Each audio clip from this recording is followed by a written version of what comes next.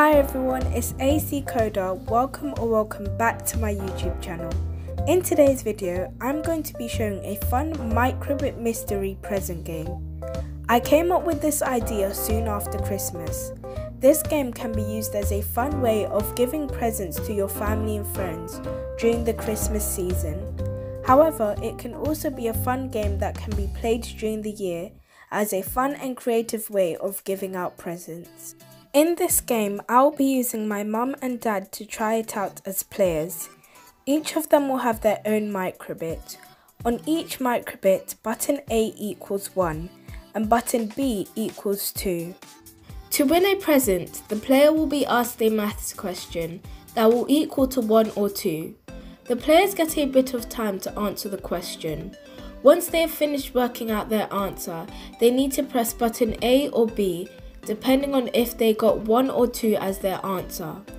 The first microbit will play a middle C note when button A or B is pressed, and the second microbit will play a high E note when button A or B is pressed. It was important for each microbit to play a different note when the buttons are pressed so that I could identify which player answered the question first.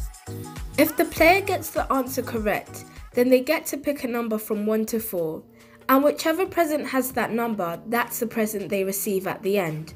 However, if they get the answer wrong, the other player gets an extra 30 seconds on the next round. To make the game a bit more exciting and harder, the players have less time to answer the question at each round. The last round is a bonus round, and the players only have 30 seconds to answer the maths equation. The winner is the player who gets the most presents, or if they end up having the same number of presents, the winner is whoever ends up winning the bonus present at the end. Before I started doing the game, there were a few things that I had to do, so I started by writing out the five maths questions that I would use in the game.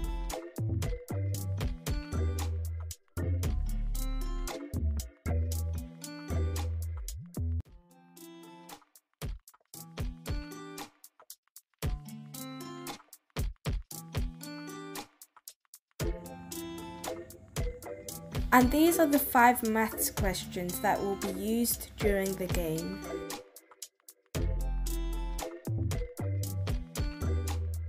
Once I'd finished doing this, it was time for me to label the four presents.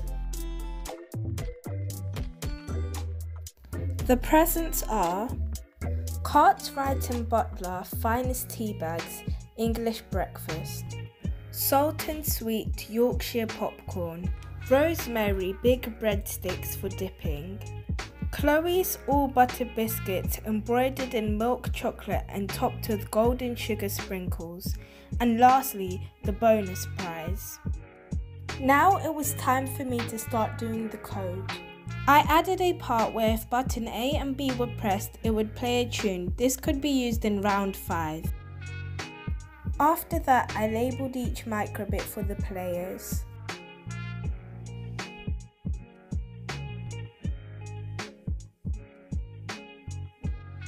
When I had finished doing that, I downloaded the code onto my microbit and I started to connect the speaker and battery pack to the microbit so that I could test it out.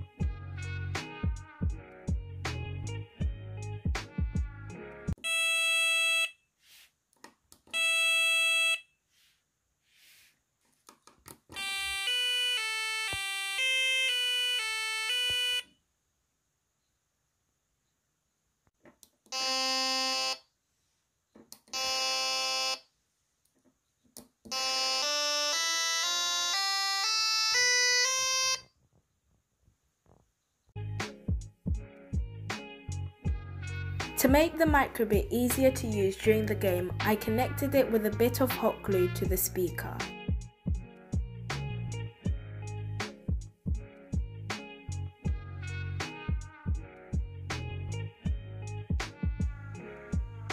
When I'd finished doing that, this is what it looked like and it was ready to start being used in the game.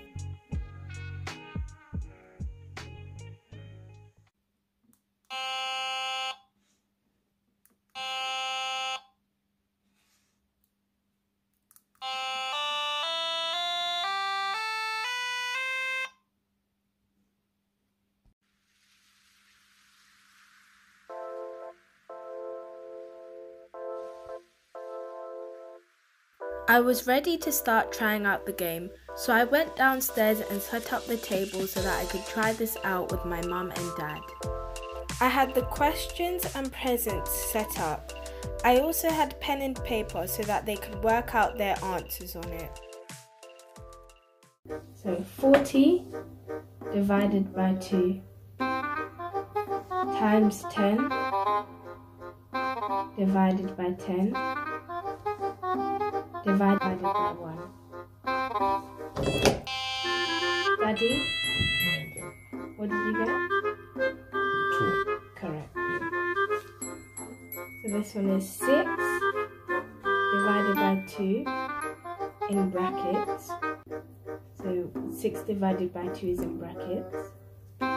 Then minus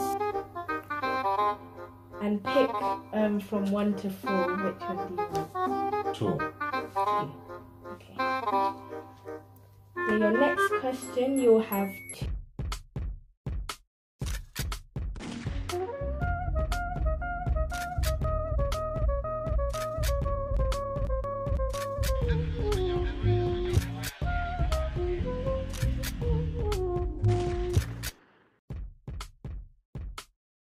That's it for today's video. I hope you enjoyed it. This would be a great game for you to try out and it can also be an educational game. Let me know what you enjoyed and how I can make it more advanced in the comment section below. Please don't forget to like, comment and subscribe. Share this video with someone you think would enjoy it. Stay tuned for more videos. Bye!